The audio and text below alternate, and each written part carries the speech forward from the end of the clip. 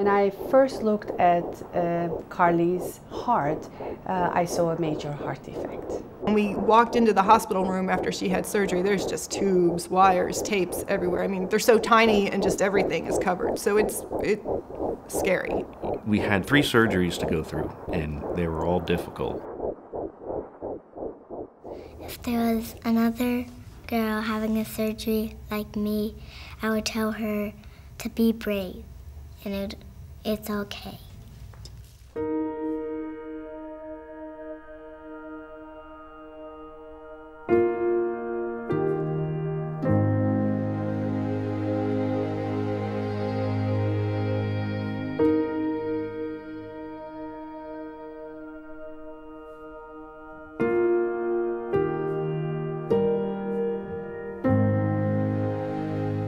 I was about 20 weeks pregnant and we were in for a routine anatomy scan and we were really excited to find out whether we were having a boy or a girl. And we found out we were having a girl and about uh, 10 minutes later we found out the right side of her heart never developed. The heart has usually two upper and two lower chambers and vessels come out of it. And in Carly's case, the right lower chamber has not developed. At that time, we were terrified. They made it sound like this is something that will be, that can be fixed, but we were thinking like, how can this possibly be fixed? This is a major heart defect. And when I talked about them about this defect, it's, um, I had to mention them that this kind of heart defects will need surgery. That was probably the first point where we thought like, oh wow, they really do fix this. And by the time I went to deliver her, we knew exactly what was going to happen. We knew she was going to be born, we knew what doctors was, were going to look at her, what they were going to decide, and we would have um, the actual plan the day she was born.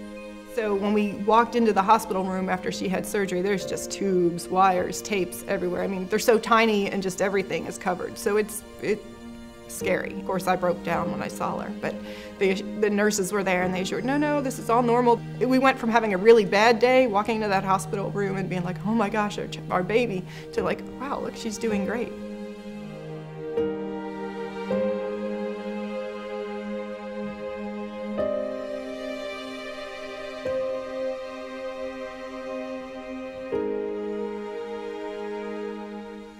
We had three surgeries to go through, and they were all difficult.